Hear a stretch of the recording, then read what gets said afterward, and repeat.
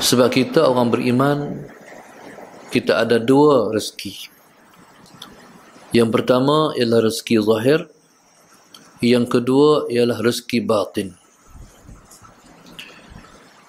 yang pertama ialah rezeki zahir kita boleh makan, kita boleh pakai, masalah Sayyidina Muhammad, kita bertempat tinggal, kita ada kenderaan dan sebagainya. Ini rezeki-rezeki zahir.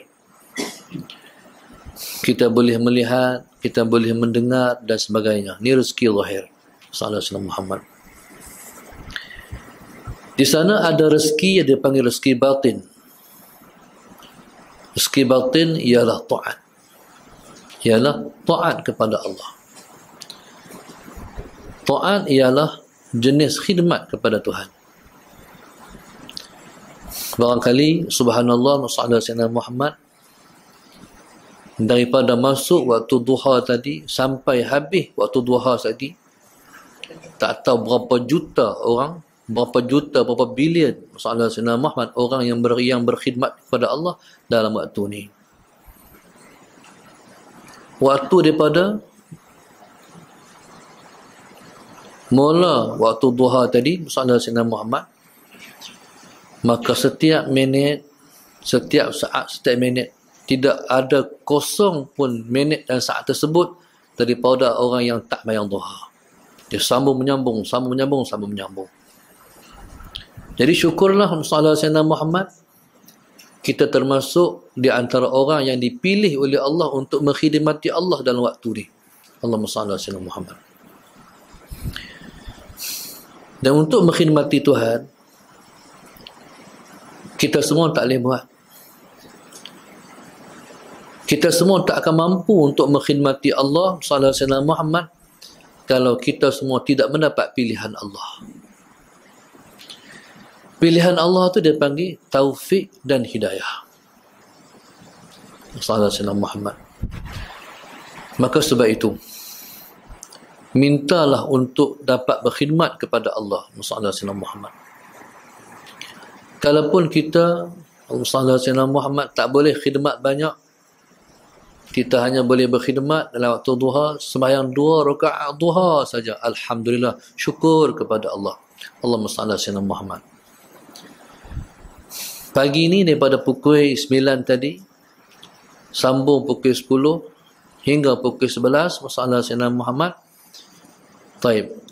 Kita semua ialah di kalangan beribu-ribu khalayak salah Sayyidina Muhammad yang Tuhan pilih untuk berkhidmat dalam bahagian i'tikaf. Syukur kepada Allah. Allah bagi lagi khidmat salah Sayyidina Muhammad. Bukan setakat khidmat beriktikaf di rumah dia. Tuhan mengkhidmat, Tuhan bagi kita berkhidmat untuk memakmurkan majlis dia. Untuk menghidupkan majlis sebutan nama dia. Allahumma salli ala sayyidina Muhammad. Maka subhanallah masalah sayyidina Muhammad tu jenis-jenis khidmat.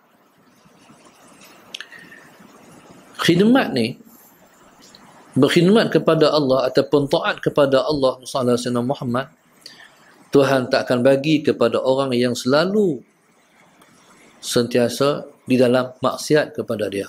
Tak akan dapat. Tidak akan dapat. Kalau Tuhan nak bagi masuk rumah dia ni berarti apa? Kita semua sudah bersih. Allahumma salli ala Muhammad. Kita semua sudah bersih. Allahumma salli ala Muhammad. Dengan maksud paling kurang Allahumma salli ala Muhammad nak masuk ke rumah dia ni Allahumma salli ala Muhammad kita semua tak akan boleh masuk rumah Allah dalam keadaan kita tu kotor dengan maksiat. Jadi dosa kita tu malaikat pegang di luar. Hang nak masuk rumah Allah hang tak boleh masuk. Kalau hang kotor. Din maksiat Tuhan tak luar. Dosa kita tu Tuhan dosa malaikat tak luar. Tak boleh masuk. Dan kita masuk rumah Allah ni dalam keadaan kita suci dalam keadaan kita suci dan bersih. Allahumma salli ala Muhammad. Jadi subhanallah masalah sana Muhammad bukan sekat tu nak main mengaji ni ada orang dekat duduk dalam taman ni saja mereka jalan kaki. Orang jauh ada yang main dengan motor ada main dengan kereta. Jadi kalau jalan kaki masalah senama setiap langkah tu dihapuskan dosa. Kita yang main tu pun sekali roda pusing dihapuskan dosa masalah senama Muhammad.